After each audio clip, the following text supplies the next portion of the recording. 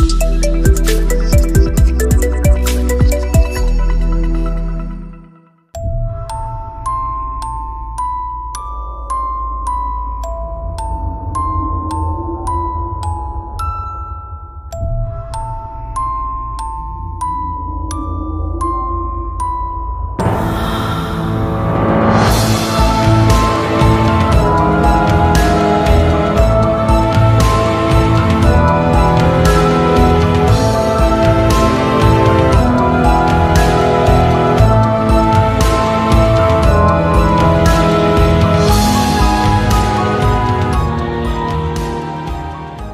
when they die. That's why you see spiders curled up.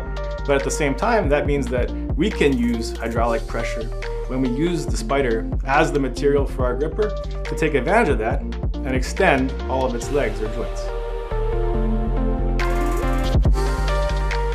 We're referring to these as necrobotic grippers. We're calling it necrobotics because we're using these basically dead uh, objects, dead spiders in this case.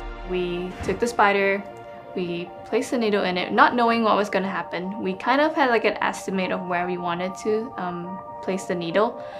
And when we did it, it worked. The first time, right off the bat actually. And that was really like, I don't even know how to describe it, that moment when you see it move.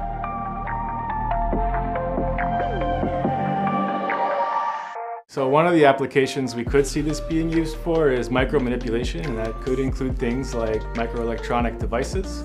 We're excited about it because it also offers the potential to reduce waste streams. So these grippers, uh, as you might guess, made from these biotic materials are compostable or biodegradable.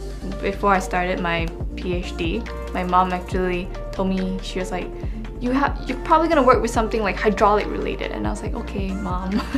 And then this is actually somewhat related to like hydraulics. So when I showed her the project she was just like this is amazing